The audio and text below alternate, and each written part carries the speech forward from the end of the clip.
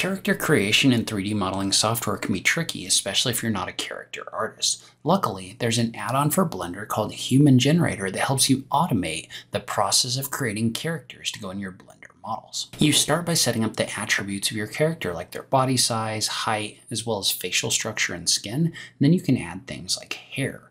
Once you've done that, this add-on also comes with different clothes that you can apply to these characters, as well as different poses and different facial expressions. So you can completely customize the characters that you create in Blender.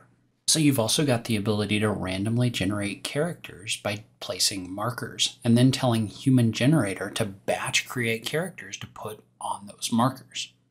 So if you're trying to add characters to your background, this can be a really fast way to batch create these characters. I'll link to a full tutorial on Human Generator in the comments below this video.